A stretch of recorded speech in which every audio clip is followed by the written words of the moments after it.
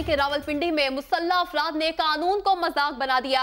नौजवान को घर से निकाल कर तशद का निशाना बनाया। और गोली मारी और सुकून से भाग गए। वाकई की सीसीटीवी फुटेज 24 न्यूज़ ने हासिल कर ली है। पुलिस बासर मुलजिमों को तहफ़ देने में मसरूफ है। रावलपिंडी में मुसल्ला अफराद ने कानून को मज़ाक बना दिया।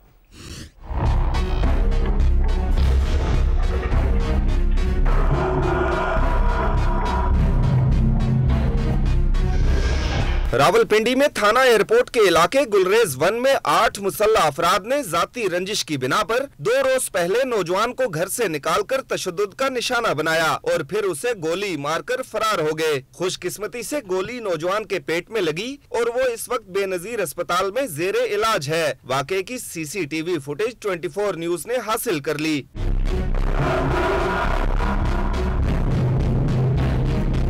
फुटेज में वाजे तौर पर देखा जा सकता है कि आठ अफराद गली के मुख्तलिफ़ हिस्सों पर खड़े हैं। एक नौजवान बाकायदा मनसूबाबंदी के तहत नौजवान को बाहर बुलाता है। जैसे ही लड़का बाहर आता है, तमाम लड़के उस पर टूट पड़ते हैं। एक लड़का फायरिंग करके भाग जाता है। इस दौरान इसके साथी ज़मीन पर पड़े जख्मी लड़के को तशद का निशाना बनाते रहते हैं।